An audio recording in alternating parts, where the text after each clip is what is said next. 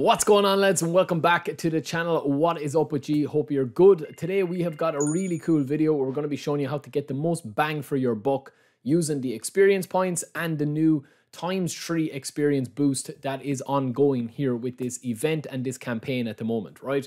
So we're going to go through this. I do have a second video coming out on this that is going to be really, really good as well. But for this one, this is all about using up players that you might have accumulated over the last couple of months in preparation for eFootball 2024. And if also you have a lot of GP but not that many trainers, I would give one piece of advice.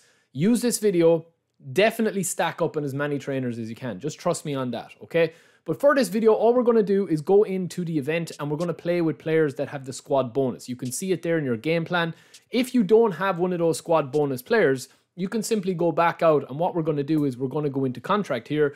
You don't really need the squad bonus for this method, but I will show you an even better method um, that kind of takes into consideration some other stuff. This is a really good one for using up players that you have that you want to get rid of, but you can put them towards right good players that you want to train up.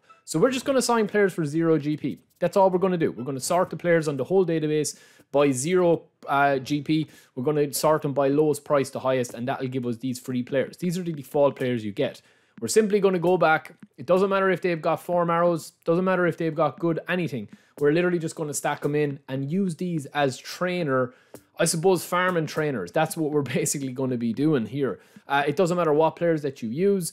I will show you, as I said, a better method if you're looking to, to train up players that you want to keep in your squad, and that is going to be the next video. But for this one, this is a really good one to just get rid of a lot of the deadwood in preparation for eFootball 2024. So don't worry too much about whatever you have. We also have as well with this video showing you guys how to clear the agents and clear these bonuses every week while this campaign is on. This is just to do this legend difficulty. Now, a lot of people still don't know that you can actually switch within the game between you controlling the play and you know the compute the AI controlling the play, right? So you can either sim the games or play the games yourself, or you can mix and match. So what I like to do is play on a fairly easy enough difficulty because you're guaranteed to get the points and to get the wins. And it just works way better towards getting experience points, towards getting um, the rewards and the event actually cleared and it also goes through the objectives as well. So, you know, for Messi or whatever. You can switch this on whenever you want. And what I usually do is, as you see here, is I will score a goal and then I'll just put the AI back and let it control it go and do a few push-ups or a few sit-ups or usually drink a cup of tea and just chill out and check out uh, TikTok or go back to work or whatever, one of those things. But anyway, what we're going to do is we're going to score a goal. Sometimes you might have to score two goals, but essentially you're going to want to get the win in these events. And as I said, work towards completing the objectives, the events, and of course getting that trainer XP, okay?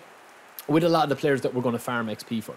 So once we have this match completed, you will see here that when we go back into our actual menu here, we will get our points. So this is going to shoot up the experience points. You can also use substitutes. I will get into that in a second video because there's a couple of key parts that I'm leaving out of this video not to confuse you because this is a very separate video and a very specific purpose for this video which is, as I said, in preparation for eFootball 2024 to get rid of players that you don't really need, okay? So you're going to see at the bottom there, we have our two players that we have bought for zero coins, zero points, anything, zero GP, whatever. So we are going to go simply back out into our actual menu here. And as I said, this works towards the match pass and the objectives and the events as well. So it's very handy to do and it takes you nothing apart from a couple of presses on a pad and just a little bit of know-how and what you're doing. We're going to go back out here and we're going to go into our uh, one of our players that we just signed and you can rinse and repeat this. So I'm showing you here one that we've already done. We have played about seven, eight matches in the event, maybe more, um, where we've just continuously done this, continuously played him. I think it took about 15, 16 matches in total.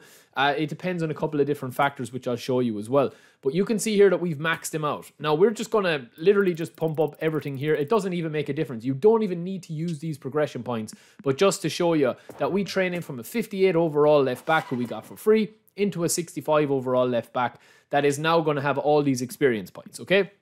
So if you take the likes of Mount, who starts off in a level 1 for us, we might think, right, we want Mount into our eFootball 2024. We don't need this 65 left back because he's Deadwood. You know, he's not going to be somebody that we actually carry into eFootball 2024. But you can see what Mount here. I haven't played one game. He has zero progression points. So what we're going to do, instead of using our trainers, which we want to farm and we want to stockpile for eFootball 2024, we are going to use the legacy transfer to actually legacy transfer and pump in all the stats that we have just simmed and just gained and farmed with this guy into the actual player that we want to keep. So we're just going to pay 40,000 GP and we're going to get about 20 levels on Mount. Now, this works on any player, right? As I said, I do have a two-parter to this video, so make sure you keep an eye on that. Make sure you get notifications turned on and that you're subscribed to the channel. I've got a load of cool videos coming soon um, like this to help you guys out. And then we're just going to train up Mount. And you can keep repeating that. You can do a legacy transfer with another player and max him out. So it's a really cool way to get rid of Deadwood in prep for 2024. And uh, yeah, if you liked what you see, don't forget to subscribe. So we're trying to Mount up there, and we can just rinse and repeat that, baby. So yeah, I'll talk to you in a bit.